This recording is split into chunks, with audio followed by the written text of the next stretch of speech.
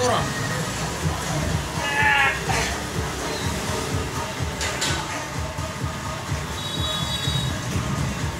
Aku biasa nak play tu one Monkey saya tak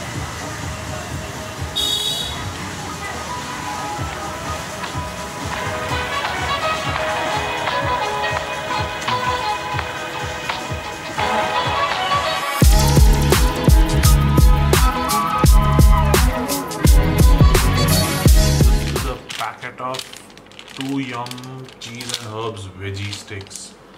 Uh, it's supposed to be this zero trans fat, baked not fried, protein goodness, uh, made with real carrots. Right? Honestly, it tastes it tastes really great. What struck me very odd about it is protein goodness. Now, the nutritional facts.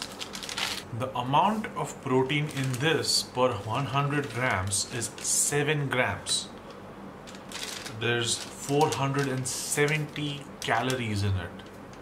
And thi- this this thing here, it's 60 grams in a packet. So 4 grams of protein. 4 grams is not enough for anyone. I, I don't see how it has protein goodness in it. This is fake marketing. Although these are really good, if you just want to eat them, they're great, good taste and everything, but don't fall for the protein goodness. That's, that's not good. Uh, I just came up to my roof right now. Got a whole setup. I got, got my bean bag, my novel to read, some snacks and everything.